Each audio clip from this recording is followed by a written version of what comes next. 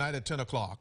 A missing senior alert tonight in Mobile. Police are asking you to be on the lookout for 87-year-old Elgia Gordner, who was last seen around mid-morning today in Tillman's Corner.